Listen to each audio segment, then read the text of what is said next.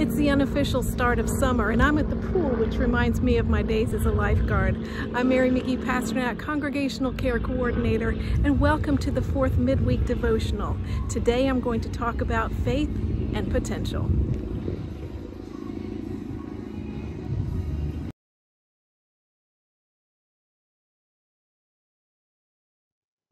One of my duties as a lifeguard was teaching swimming lessons, and this time I had five adults in the beginner class. Now these people had put off learning how to swim for years and had built up all kinds of fears about the water. On the very first day of class we were standing at the edge of the pool about midway and all of a sudden Carla lost her footing and fell into the pool making a huge splash. Poor Carla started thrashing and flailing. She was wild-eyed and trying to scream, and all she knew in that moment was that since she was in the water, she was going to die. She was terrified. Her fear narrowed her perspective, and it does ours too. It's hard to see the potential in our adversity. Our brains are actually wired for routine and sameness. In fact, about 90% of what we do is automatic. 90%. We go through our day in much the same way. We don't have to think about how to brush our teeth or how to eat or get dressed or go about our day to day until something disrupts that. We crave sameness. That resistance to change is deep in our biology. It's a survival skill. Sameness equals safety, and difference equals discomfort or potential danger. According to a Harvard psychiatrist, we would rather master the disappointment of what we no longer have than we are willing to try something new. Rather than becoming really good at being able to tolerate when things don't work out, we need to change our perspective. Take the children of Israel. In Exodus, the children of Israel had witnessed many miracles, signs, and wonders of God's power, including all of the plagues of their enemies. They were allowed to escape years of brutal slavery through a parted Red Sea and carried with them some of the riches of their captors. After a successful escape, there was much singing and praising of God. They were so grateful to have seen an end of generations of cruel taskmasters and back-breaking, hard, hard labor. Initially they encountered difficulty even finding water in the desert, and when they did find water it was undrinkable. But God intervened and made the water drinkable.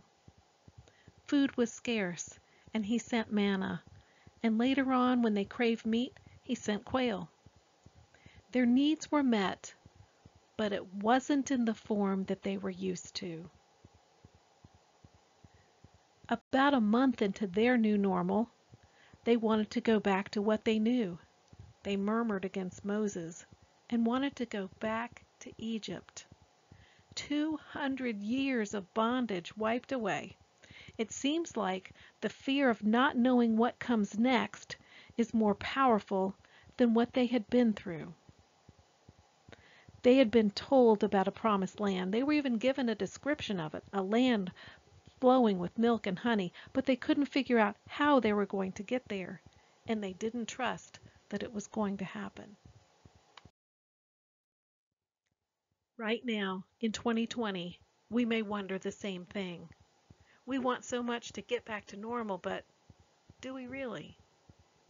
Read the headlines from May of 2019. Do we really want to go back to the stress of busyness, too many tasks and not enough time to do it, overscheduling, running here, running there, loneliness becoming epidemic, heart disease on the rise, sitting the new health risk worse than smoking, and suicide rate increasing by 30%? This situation, this pandemic, has grabbed our attention, and we have the potential to move forward. As human beings, we tend to push away discomfort and just try to get back to feeling good. We want to go back on autopilot. What will future generations say about how we handled this time? God has given us the gift of free will, and using that requires slow, deliberate, intentional thinking. We can choose what we think about, and we can choose what to focus on. That doesn't mean we put on rose-colored glasses and ignore problems. Oh, it's exactly the opposite. Again, neuroscience comes in and supports the Bible's teaching. The broaden and build theory says that under the influence of positive emotions like joy and gratitude, we broaden our awareness. This encourages and ignites creativity, exploratory thoughts and actions. Over time, this broadened perspective expands our thinking and builds our resources. We become better, more creative, more efficient problem solvers. The Bible's version of it comes in Philippians chapter 4 verse 8, where Paul tells us how to program our thoughts by focusing on what is true, noble, right, pure, lovely, and worthy of praise.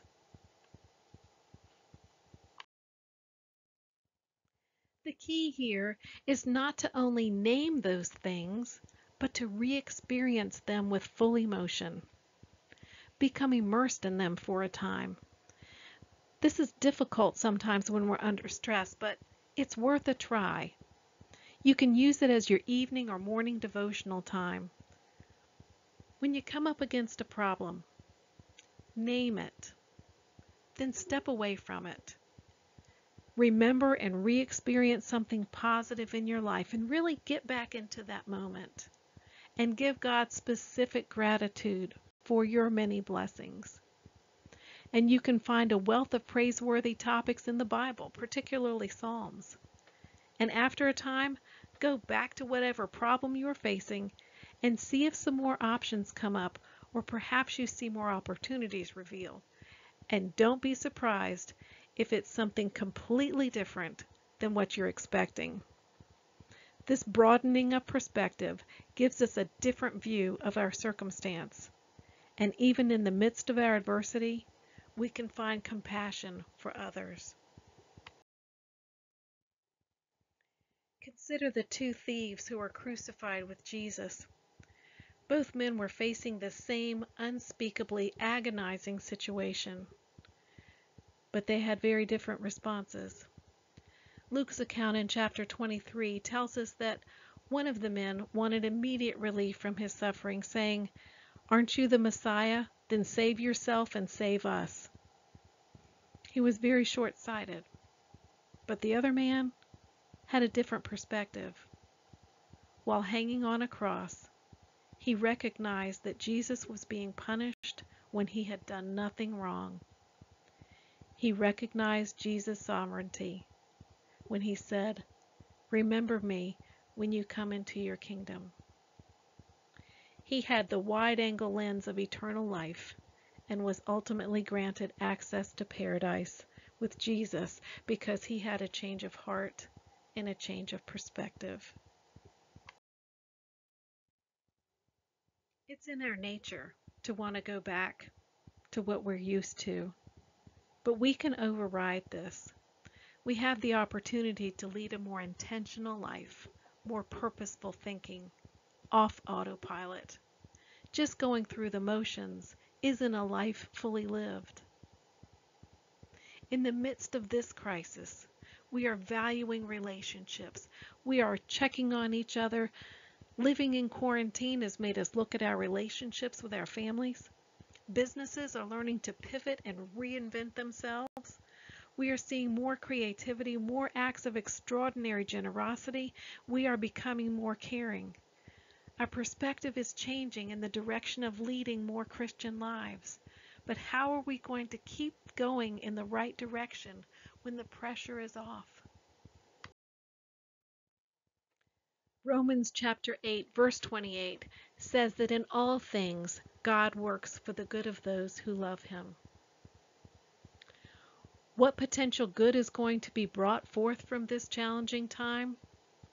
How is God going to use this global pause? I can't imagine it yet, but I am convinced that there is great potential in all of it. It's sometimes hard to imagine that a woolly caterpillar turns into a beautiful butterfly, or that a mighty oak comes from an acorn, because the beginnings look nothing like the end. But I trust the Creator of the universe even when I can't see the how. I know the final outcome. From up on the pool deck, I yelled, Carla, relax, you're okay. Put your feet down and stand up.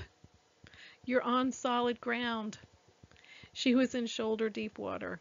All of that needless struggle when she was inches away from being able to stand.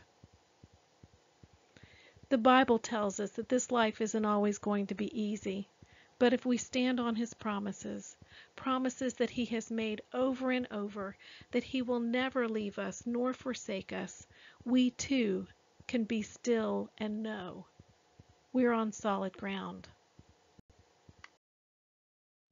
We can stand on His promises. Our promised land is ahead of us, and we can trust God to get us there. This is an opportunity to make needed changes. Perhaps future generations will look at this time in our history as a time when we came together, when we looked out for each other, when we went in a new direction. Let our love of God fuel our faith and ignite our creativity. And let our trust in God overcome fear. And let us step out of our autopilot comfort zone and stay on this positive path even when the pressure is released. We can choose to come out of this with more compassion, better understanding, less judgmental, and we can be better, more loving Christ followers. Our God is good all the time. If we can remember not to forget. Most holy God, we love you and are so grateful that you are always as close as our next breath. We thank you for the life of your beloved Son Jesus, who by his choice and love of you and us endured the pain of all the sins of the world, so that we may live with you when our days on earth are done. Open our minds and our hearts with a new perspective so that we may see the potential in this time to continue on a path most pleasing to you. We ask this in your Son's most holy name. Amen.